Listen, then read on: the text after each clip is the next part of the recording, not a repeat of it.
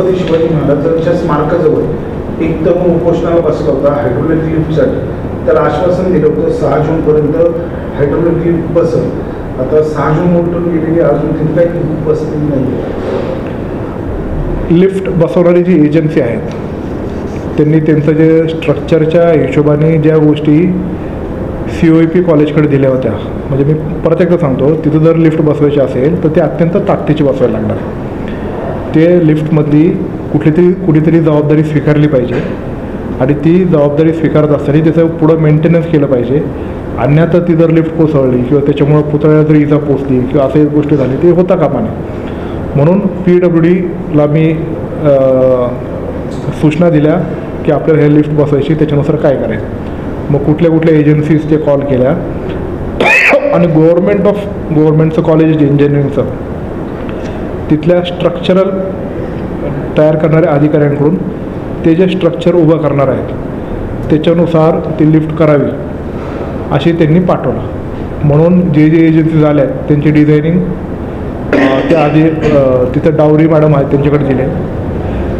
नगरपालिकेचे engineer P W डीचे अधिकारी ते जे माझ्या चौकातले सगळे जे शिवभक्त ज्यांनी आंदोलन केलं ते मी ते डावरी मॅडम एजन्सी आमची मीटिंग पण झाली.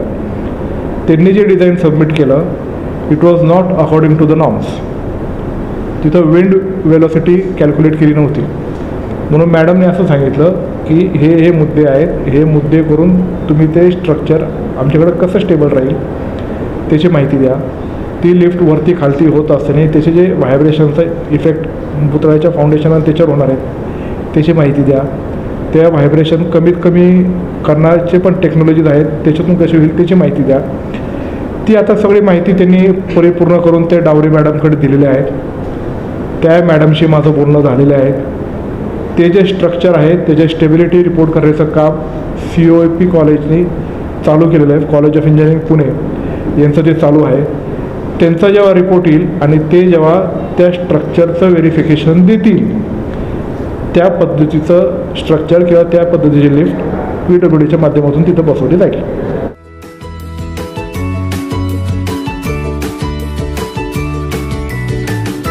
बातम्या शेतीच्या.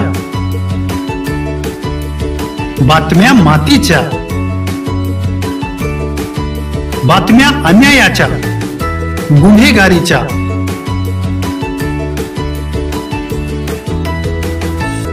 राजकारणाच्या आणि समाजकारणाच्या. शोषणाविरुद्ध बुलंद आवाज जनसामान्यांच्या हुंकाराची गाज. सत्कार्याला प्रोत्साहन. दुष्कृत्याला अनुशासन. निर्भीड निस्पृह सडेतोड बेधडक आणि रोखटो म्हणजेच विघ्नहर टाइम्स शोध बातमीचा ध्यास सत्याचा. आपलं चॅनल आपली बातमी. सबस्क्राईब तर कराच पण बेल आयकॉनवर क्लिक करायलाही विसरू नका.